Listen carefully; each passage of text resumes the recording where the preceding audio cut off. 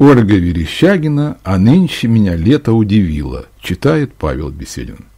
А нынче меня лето удивило, июньским снегом, проливным дождем, а в августе опять же потеплело, сегодня двадцать девять за окном, жара пришла, Какое наваждение, а ночи все темны и горячи, юг поменялся с севером, наверное. Жаль, только мандарины отцвели, на вятке после дождичка в четверг. Грибы растут и ягоды не счесть. А я опять иду на сонный берег встречать зарю, стараясь все успеть.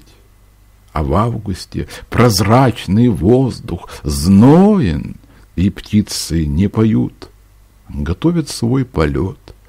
И знаю, что недолго быть жизною осенние ветра и холода идут, прозрачны лучезарные просторы, и солнышко косое в горизонт, и вечно все зеленые помидоры, и попугаи нынче не поют.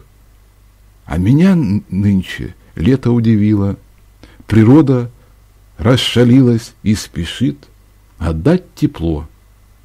Жаль, осень поспешила, раскрасив небо в лазурную. Финифть